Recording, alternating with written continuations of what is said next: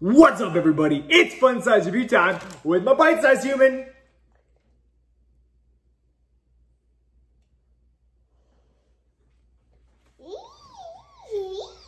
Are you gonna say hi? Hi. And my fun size human. Hi. It's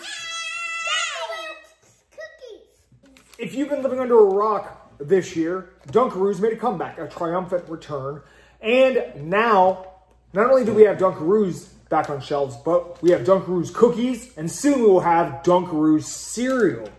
Did you know that?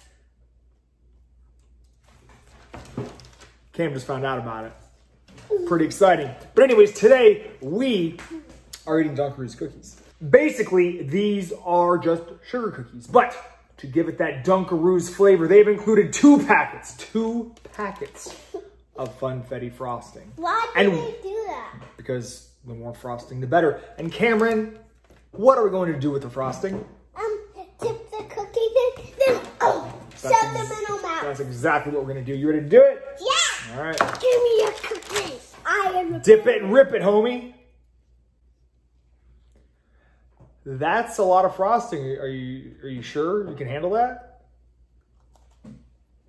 That's my boy. All right, it's nice. Mmm. I'm not a big sugar cookie guy, but I gotta say, when you dip a sugar cookie into funfetti frosting, much like when you dip anything in funfetti frosting, it tastes better. What's this one? Right here.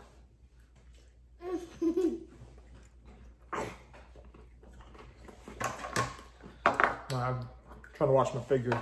Some of you pessimists may be saying, Eric, isn't it just cookies and frosting for dipping? And to that I say, yes, that's exactly what it is. And there's nothing wrong with that because what are Dunkaroos? pickles in here. What are, yeah, there are sprinkles. What are Dunkaroos after all? Cookies with frosting for dipping. Hmm. Cookies. This is just a supersized version of Dunkaroos. Now you do have the option of making six large cookies or 24 minis, and obviously we opted to make the minis. What do you think, Brooklyn? Mm. You like them? I know you like them. As you can see, both kids love it. No surprise there. It's cookies and, and frosting. Like I said, these are just really big Dunkaroos, and I love Dunkaroos, and I love these. I'm gonna give them an 8 out of 10.